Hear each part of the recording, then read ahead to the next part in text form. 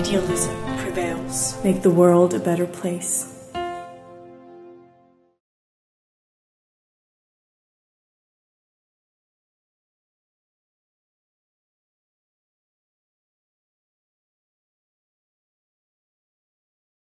Hello and welcome to our podcast here at VIPAC.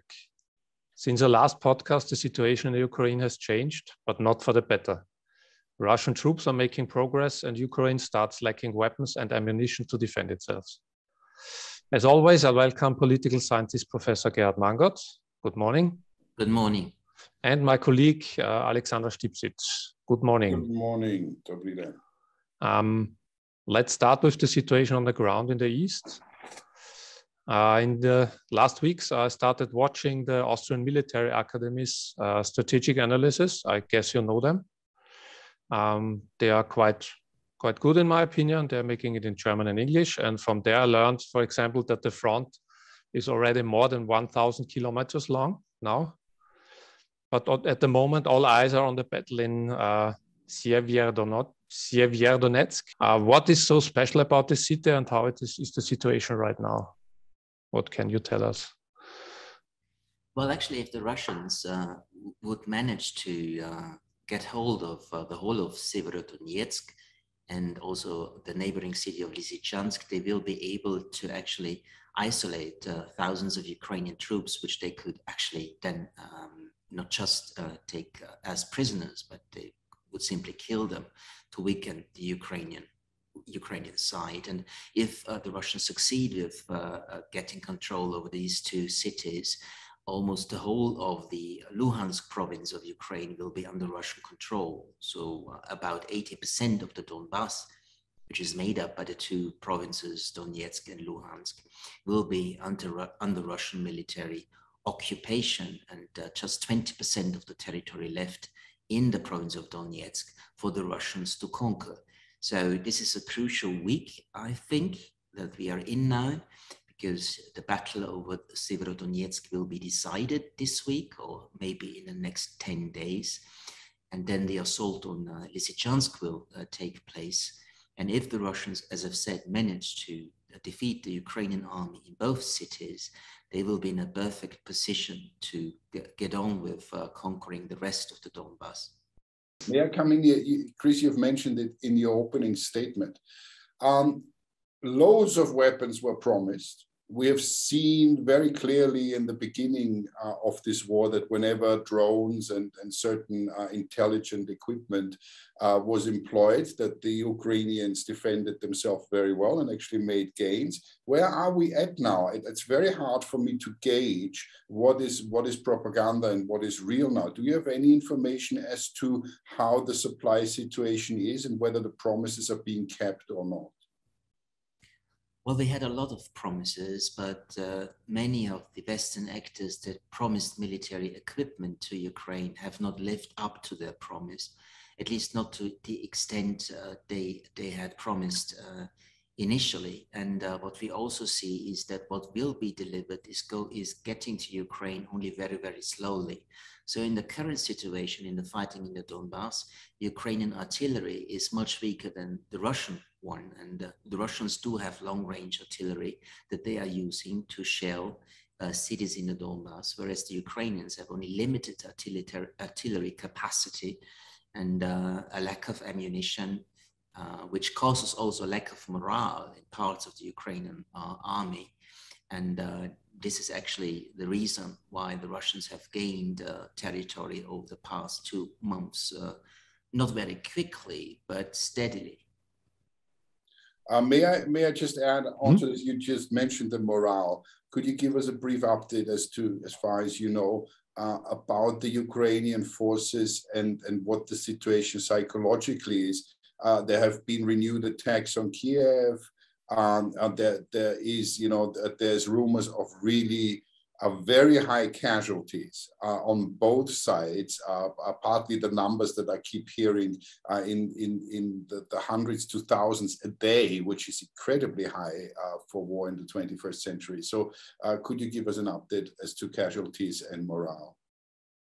Well, according to uh, Ukrainian official officials, we have up to 200 dead Ukrainian soldiers per day. And that's, of course, a horrific number. We can expect that uh, something similar, maybe a bit lower, uh, also on the Russian side. So we have a lot of uh, casualties every day in this war of attrition. What we have seen uh, on uh, social media over the past six weeks is more and more videos from Ukrainian units on the front line who actually asked the president to uh, allow them to withdraw because they are not in a position due to a lack of weaponry and ammunition to resist the Russian onslaught. And they argue that they don't want to desert, but they say they don't get the, the weapons needed to continue fighting. And they simply uh, don't want to be sent by the Ukrainian leadership into a meat grinder, as they put mm. it. So yes, there is a, um, a, decrease in morale on the Ukrainian side, which is of course also caused by uh, the lack of success against the Russian side, particularly in the Donbass. We have some success on uh, of the Ukrainian army in the south of, of the country, uh, in the vicinity of the city of Kherson. Um, but uh, in the Donbass, they are actually on the losing side, at least for the moment, and that of course undermines morale. Um, but we also can expect that we have morale problems on the Russian side as well. We do have reports that uh, units uh, don't want to implement orders by their officers, uh, that they rebel against the uh, the uh, the uh, orders by the officers, and um, the longer the war goes, the more it will be a war of attrition. This decrease in morale will be becoming more and more important for both sides if you compare, I think in, in Afghanistan, Russians lost all over the war 18,000 soldiers. And 15. I think 15, even less. 15, and about 15,000. And now they already probably lost as much in like three months. So, yes, the, the, casualty figures are enormously yeah. high, yeah. Uh, which of course also uh, undermines morale on the Russian side. And uh, the heavy casualties that the Russians took, particularly in the initial six to eight weeks, was particularly due to poor planning, mm. uh, pure implementation of, uh, of battle plans. Uh, in the past two months, uh, the Russians have changed their tactics. They are now using long range artillery to shell Ukrainian positions uh, and cities and only when they have actually caused a great number of casualties on the Ukrainian side, it destroyed a lot of Ukrainian equipment, they move forward with their infantry. Uh, and this new strategy, of course, is trying to, to lower the number of casualties on the Russian side, because at the end of the day, if uh, the initial hmm. losses had continued uh, for the whole four months that we have this war now, the Russians would have a serious lack of infantry.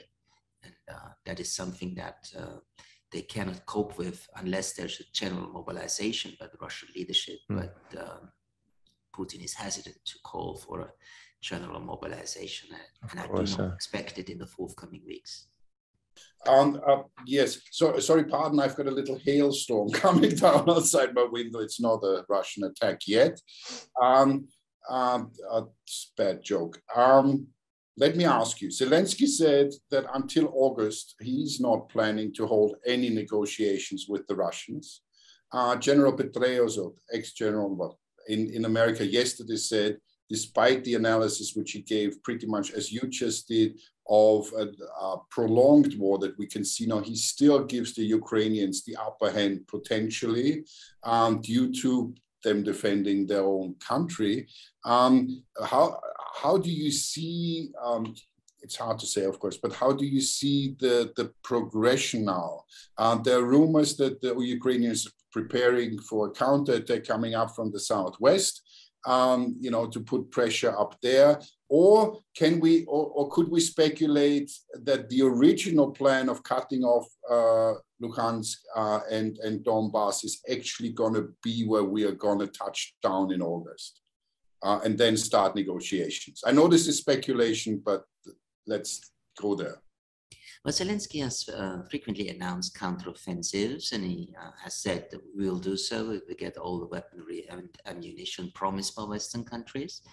And uh, he uh, even said these, that these counteroffensives will, given the Western military uh, support, be uh, quite successful, and they will be able to push back the Russian forces in the Donbass.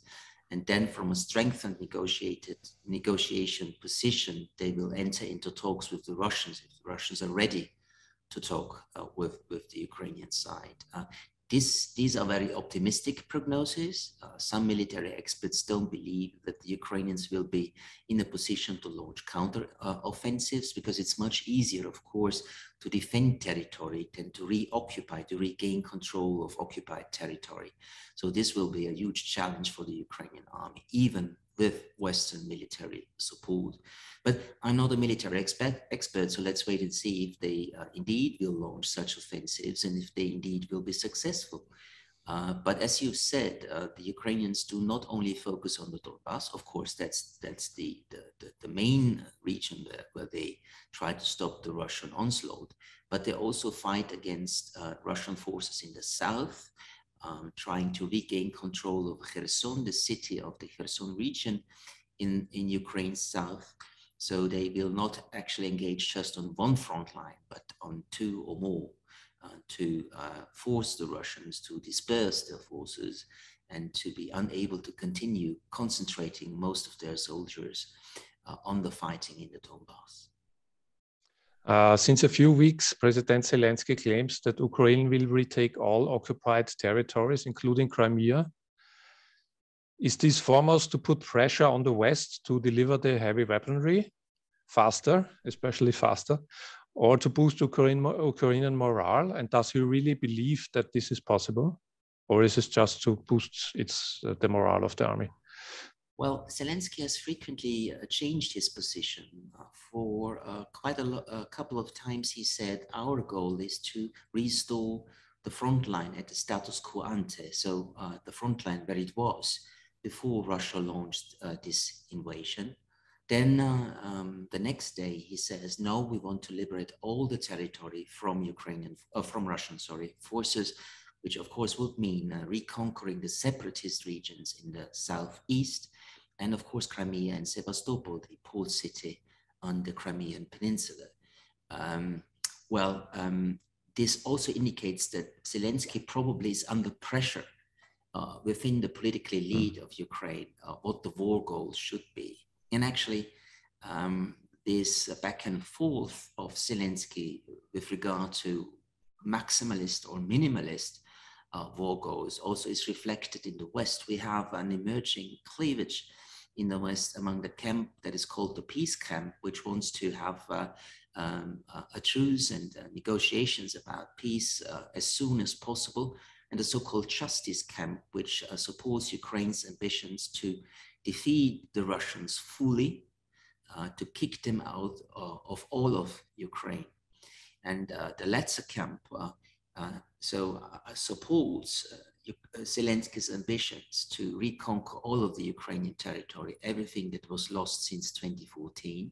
And these countries are Poland, the Baltic nations, Romania, the British, but also the US, whereas uh, the German, the French, and the Italian governments and some other Western European governments actually do not think that such, such a maximalist strategy, such maximalist goals actually are conducive uh, for restoring uh, peace because they think that if the Ukrainians, if they are able to, of course, if the Ukrainians were to attack Crimea, to kick the Russians out from there or the initial separatist regions, Russia will uh, seriously escalate the fighting with, with the introduction of new weapons, which might also include tactical nuclear weapons. So this is a cleavage that we have in the West between uh, those who support maximalist goals and those who want to uh, uh to limit Ukraine's war goals. And this uh, you know, this uh, cleavage or this this dividing line we also have in the Ukrainian leadership, and we will see how it, how it will play out. Uh, you just mentioned Europe. Let's go there, please. Um, the France, you just mentioned France, where the conservative middle of the road forces just suffered a pretty devastating defeat uh, to the right and the left wing. Um, this will, in my humble opinion, have an impact on the position that France will take in the future um, on Russia. Um, and I, as you said, there are those two camps that are forming. Can maybe maybe we can stay there a little bit because I think this has a tremendous impact. Um, so so there, there are, I wouldn't say even pro-Russian, but some apologetic voices are starting to appear. One of which surprised me, which is the Pope, who came out last week and said, well, you know, uh, some government leader has told him um, NATO was rather provocative uh, before that war. And I find this interesting. Um, do you think this is because Europe is and the rest of the world seriously beginning to suffer also from the energy situation and uh, is afraid of Putin, who just uh, likened himself to Peter the Great and has threatened Kazakhstan? I mean, what I mean, the, the simple question is, are we not going to pull back uh, the whole world and say justice is not important um, so much. Uh, we, we just try to make peace now because Putin will go on and he will keep uh, um, fighting against the West. Well, the Europeans are feeling the heat of the war, of course, the, the consequences of the war, which has increased inflation in, in, uh, in Western economies, which had been on the rise already before the war. But by the war, inflation is now even higher, given uh, uh, a rise in food prices, and particularly the rise uh, in, in the price of energy carriers, oil and gas, particularly. Uh, so uh, Western societies actually will come under stress. Um, um, people will ask in all or in most of the Western countries will ask, should we really accept these financial and social costs in our countries? just because our political uh, elite's ambition is to support Ukraine against Russia's aggression. So I think these voices will become louder and the governments will have to respond. And this will be particularly true if uh, Russians cut the gas supplies to uh, European Union countries, which will cause a lot of economic and uh, financial friction and uh, increase inflation even further. Russia's decision to block Ukrainian grain exports and to uh, lower the Russian grain exports will increase food prices uh, internationally. And this will lead to a situation where some countries, particularly African countries, will not be able to feed their population, which might cause a new wave of refugees, which will, of course, also flee and migrate to the European Union, which will put even more stress on these uh, political systems and societies. So I do think there is a deliberate strategy on the Russian side to do everything they can to undermine the coherence and cohesion of Western societies in order to in order to um, make the governments of the EU and Western countries to rethink their strong commitment to the defense of Ukraine. Uh, I do think that this is a deliberate strategy. And what we, what we can see in many countries, of course, is already what we can call a Ukraine war fatigue. Uh, this war now lasts for almost four months. And uh, it's still as brutal as it was from the very start, but people, I do have anecdotal evidence and some opinion polls, are getting tired to see these pictures particularly if the war will become a very long war, as uh, uh, NATO General Secretary Stoltenberg has indicated, or British Prime Minister Johnson has indicated over the past days, even uh, if this will be a long war, a war of attrition, which will last many months, maybe even years, I do think that this Ukraine fatigue in the West will increase and will, it, will make it more difficult for the governments to continue with their efforts to support Ukraine in this war. Uh, concerning migration, we have already seen that the numbers are going up.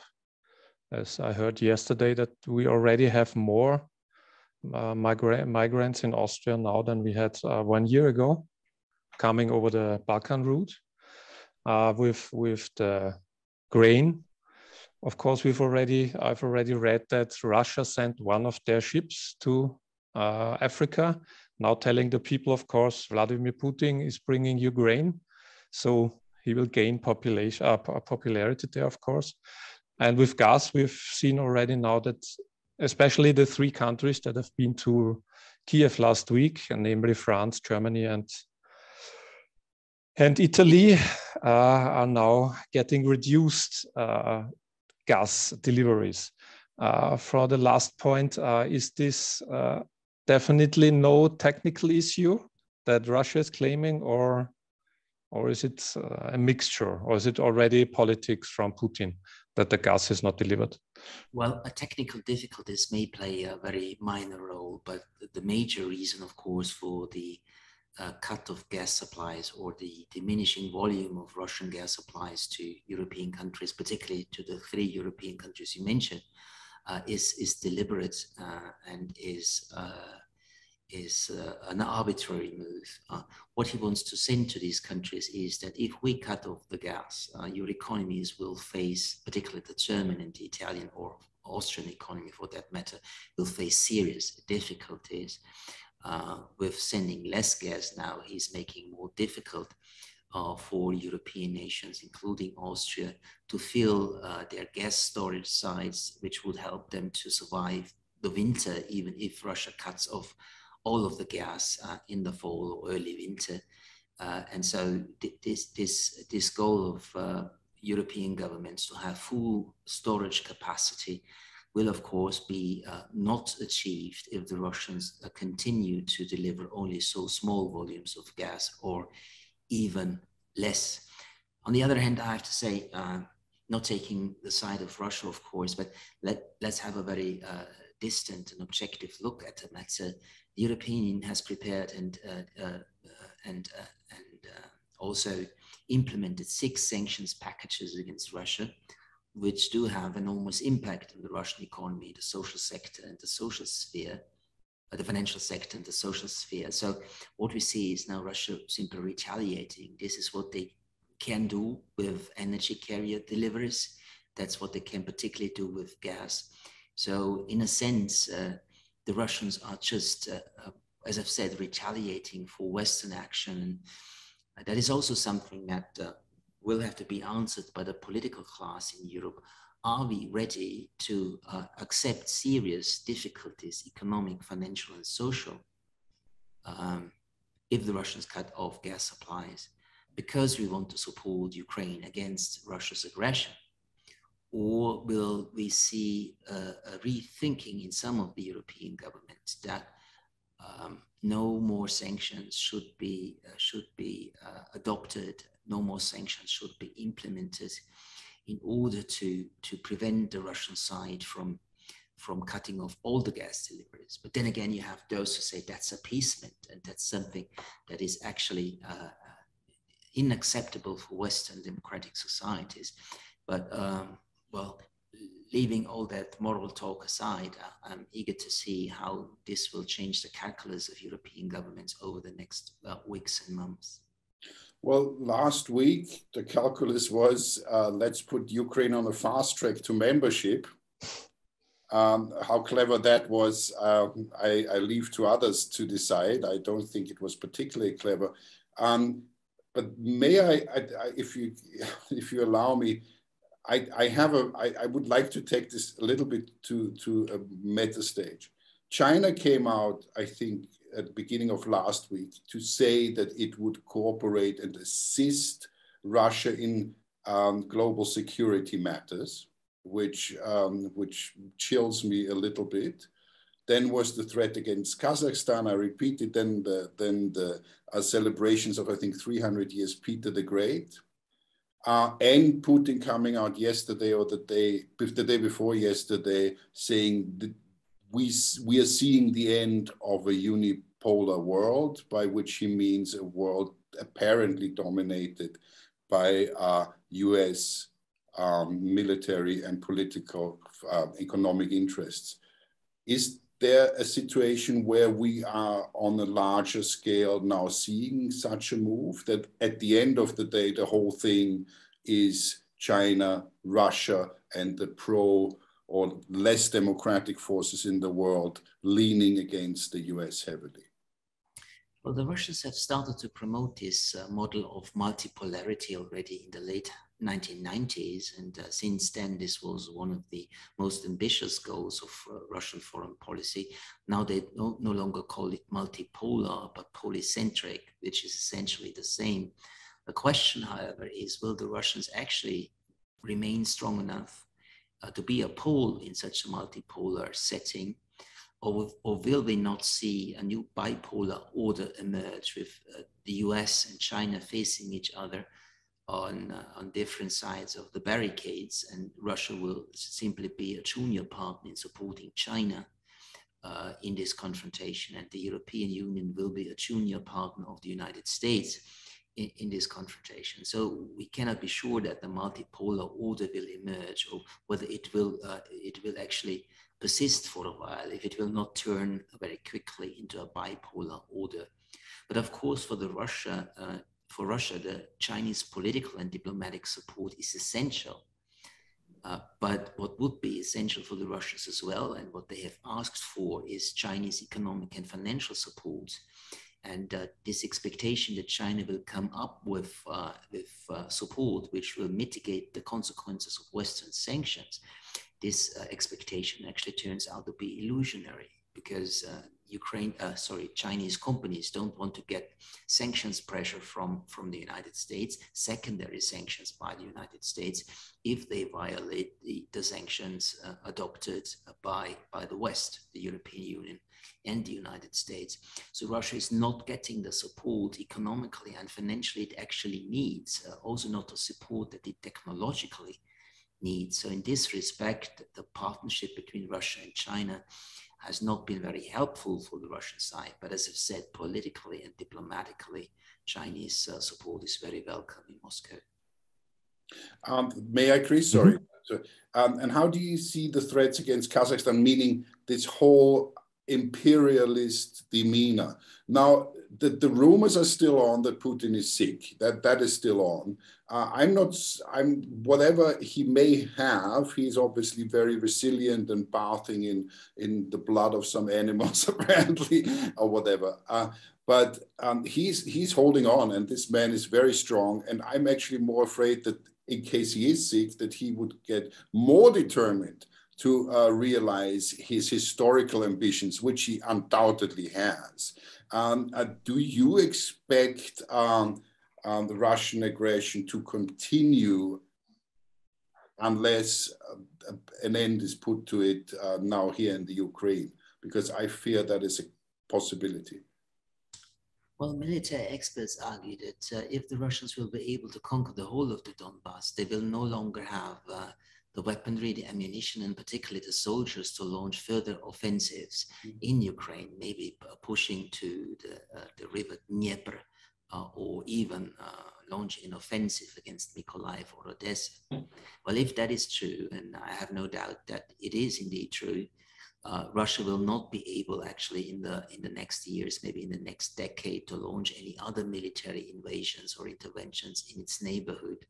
But we have clearly seen that uh, Putin is comparing himself to Peter the Great, Piotr Veliki, uh, and argues that uh, Peter the Great has not actually uh, wanted to seize territory from other countries, but he argues, Putin argues, that Peter the Great simply wanted to return territories which had always belonged to Russia. And that's actually, as he continued, what the Russian state is up to now, namely to regain control over historic Russia and this, of course, does not only include parts of Ukraine or even the whole of Ukraine, but other parts in Russia's neighborhood as well. But the military capacity to launch uh, such uh, uh, interventions in the next 10 to 15 years will be uh, very limited, if not at all too small, too weak to carry out such a neo imperialist agenda beyond Ukraine. Maybe, maybe he waits for China to start a quarrel about Taiwan and then uh, picks up his own uh, his own agenda. But this maybe take more five to ten more years, and we don't know if he will be around then. Yeah. Well, Russia would definitely profit if uh, China now decided to launch a, a, an assault on, on, Taiwan, because this would open a second front for the West. Uh, but it's highly unlikely that China wants to do so and will do so if they had the intention to use this uh, crisis in, in Europe uh, as a pretext for causing a crisis in East Asia, then they would have done so already mm. uh, almost immediately after the start of the Ukrainian war. The US has signaled to China that um, at least Biden has done so three times in a row now, uh, that in case of an unprovoked military aggression by China against Taiwan, they will uh, militarily assist Taiwan, not just with weaponry and ammunition, but they would send US soldiers to help defend Taiwan. Um, well, uh, the team around Biden has uh, tried hard to argue that no, we have not changed our Taiwan policy which had been uh, till now a policy of strategic ambiguity, meaning that the US left it open whether, in case of an unprovoked military assault by China on Taiwan, they would come to the uh, defense of Taiwan or not. Um, some say we now need a strategy of uh, clarity. We need to send a clear signal to China that we will uh, uh, enter US forces to defend Taiwan against Chinese military aggression. And if this is indeed taking place, such a change in policy from a strategy of ambiguity to a strategy of clarity, then of course the Chinese will be even more hesitant to launch such a military intervention on the peninsula. However, uh, on, on the island of Taiwan, sorry. Um, but if the Taiwanese, which uh, the US rejects, of course, uh, declare independence, then this would definitely cause a military chain reaction and a Chinese military assault on Taiwan. But I don't think that will be on the agenda for the next years to come. As it has been called already a few times, the um, we are now talking about the elephant in the room. um, let's talk about it a little bit. This is very fascinating to me. Uh, uh, what is going on in the US that is increasingly again divided. Um, we have the hearings uh, concerning the sedition uh, or the attempted sedition. The 6th of January is becoming apparently clear uh, that the former President Trump actually did what we all suspected, uh, which I, I, think people are not really here understanding what that actually means. I, I, think in America neither. So let me ask: This has an impact, I think, on the on on the whole Ukraine situation and and everything. Um, I hear from you that you take the US very seriously and that China apparently is also taking it seriously in the sense that militarily they're still the might that they are. Um, but we are having elections again, presidential elections in two years plus. Uh, and, and should somebody like Trump come in again, uh, this would change tremendously uh, what goes on in this situation also with Putin. Should Putin be around or anyone following him who is of like mind? Um, is the US currently being underestimated? I mean that in the sense of its deep inner coherence um, as, a, as a military force for what we call democracy. Are there not many that are saying that are seeing the weakness, the apparent weakness of Biden, which is almost sadly comical? Um, and, and is that not something that, that, that is provoking, um, uh, certainly also to a point uh, Putin and certain also forces uh, in Europe um, to yeah to make the mistake or to dare to challenge the US more than would otherwise be the case with a strong leadership? Well, the United States uh, political system is still quite dysfunctional, and uh, the political uh, situation is quite polarized in the United States and will remain so in the coming years. Biden is already weak, particularly by the economic uh, and social situation in the United States, with record high inflation rates that the US has not seen for the past 40 years. And of course, this causes discontent and unease in the US society. And Biden will get weaker as a consequence when he will lose the midterm elections to the Senate and the House of Representatives, uh, to parts of the Senate and the House of Representatives in November of this year, which might result in uh, uh, Republican majorities in both houses of Congress. Uh, and uh, such a weakened president uh, actually will maybe lose the support of his party, the Democratic Party, to run for a second term in 2024. And it's very likely that in 20, or it's likely, not very likely, it's likely that in 2024, we will see Trump or a Trump like candidate regain the White House for the Republicans. And if we will see this America first strategy that Trump has, has pursued uh, with the next president of the United States, then of course this will have an impact on the commitments of the US to Europe, to the European security, and maybe also to Ukraine. On the other hand, at the moment at least, we have to say that there is bipartisan support for strong backing of Ukraine, for strong military and financial support of Ukraine. Congress has authorized uh, more than 50 billion US dollars in military and humanitarian and financial aid for Ukraine. So uh, at the moment, at least, uh, both parties are in support of uh, such active U.S. Uh, interference in this in this war.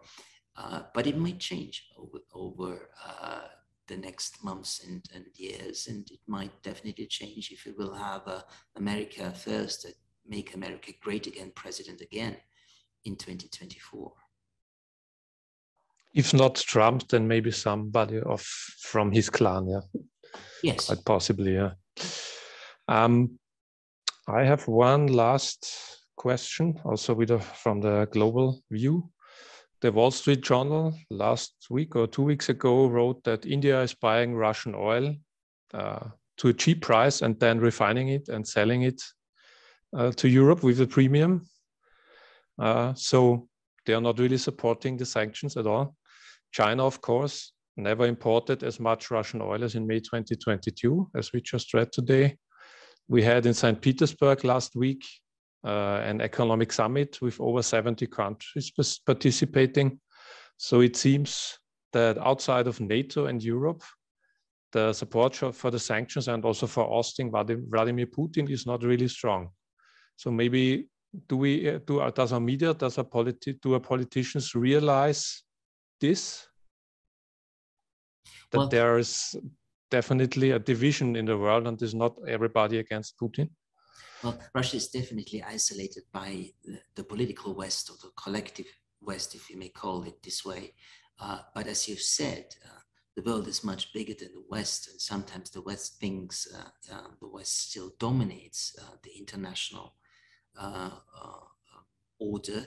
There are other countries who have divergent views and different views there are uh, China and India, of course, who are backing the Russian side, or at least the Indians not uh, not condemning the Russian aggression in Ukraine and trying to make economic and financial profit of the new situation by buying cheap Russian energy carriers such as coal and oil. We have uh, quite many African countries who have uh, uh, uh, abstained during the vote in the United Nations General Assembly on condemning the Russian invasion um, they have not actually condemned Russia uh, and they, they, have not imposed sanctions. A NATO country like Turkey has not imposed sanctions. Israel has not imposed sanctions.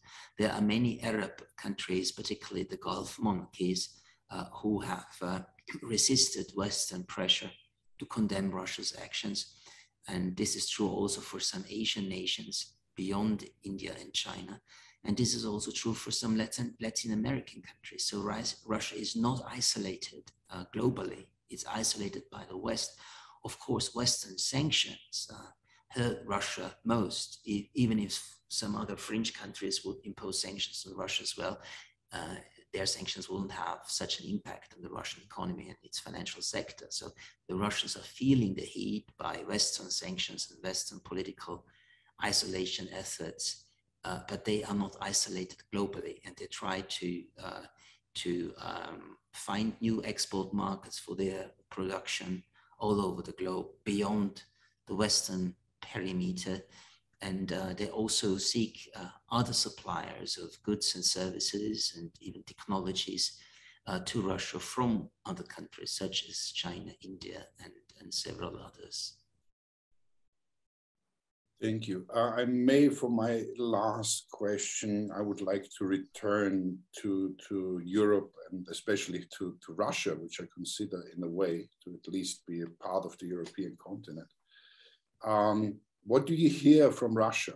In the beginning, we've been speculating, not we, but it has been speculated um, that the Russian people, you know, will not, you know, hold this. They will uh, oppose Putin and his regime um, I hear occasionally something in that direction, but very, very mildly.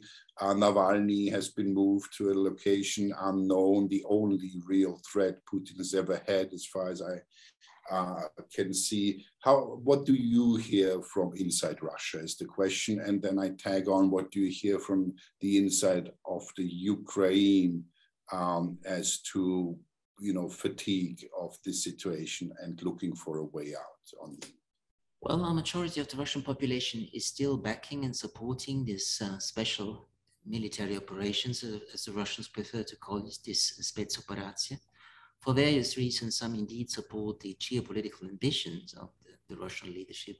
Others actually uh, uh are politically apathetic and simply accept that this war is now happening. Others uh, about the war, but they think Putin will probably know why he has launched this, this war. Maybe he knows something that we do not know. So we can uh, still say that the majority of the Russians are not opposed to this war, to put it more, more carefully. Uh, the, the, the, the, number of Russians which is opposed to the war, wants to end it, and wants to get rid of Vladimir Putin, is just a minority of uh, young, urban, middle class people in the large cities of uh, Russia, particularly in Moscow and, and St. Petersburg.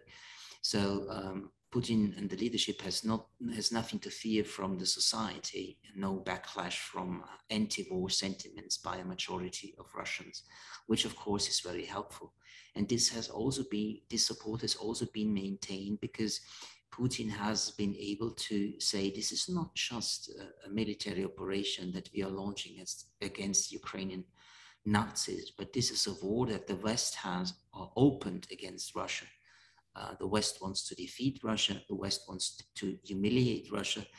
The West even wants to disband Russia and to make it uh, separate into different political entities. So when Putin is able to, to tell uh, his population that actually we, in, we are in a war with the West, and the people in Russia feeling the impact of Western sanctions, then this rallying around the flag effect, this demonstration of solidarity between a majority of the society and the Russian leadership will continue for a while. Thank you. Uh, I have to tag one little question on. Is that okay?